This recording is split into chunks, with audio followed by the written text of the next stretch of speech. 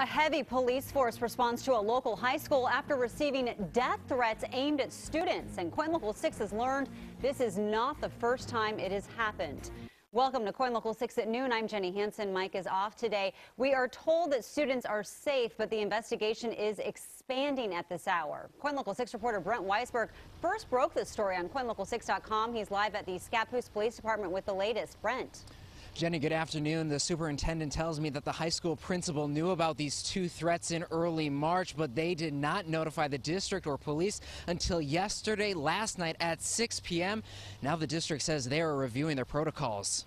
Scappoose High School is generally like a safe place to be. I think it's disappointing that um, people are doing the things that they do to cause this. Senior Mariah Hill was one of the first students to arrive at Scappoose High School this morning, just hours after the district released information that someone made a threat to kill students and staff on today's date.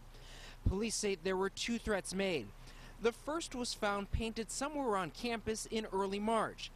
The district says the school handled the investigation internally and that the graffiti was then painted over. Police won't release the exact date, but tell us after the first threat was made, a similar graffiti note was found and that also threatened to kill students.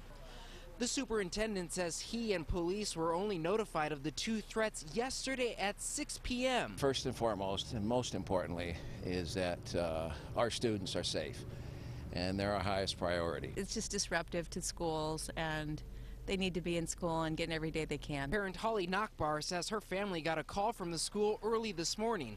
The district decided to keep the school on a normal schedule but enrollment today is down from roughly 700 to 200 students. I think someone wants attention because that happens a lot in our school. The police department added eight officers to today's rotation. Many of them are in the school trying to reassure parents, students, and staff. We want our students talking to the police today and talking to the adults.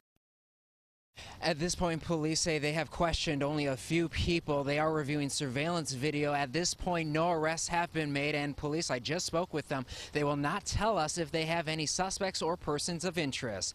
Reporting for you live in Scappoose, I'm Brent Weisberg, KOIN Local 6.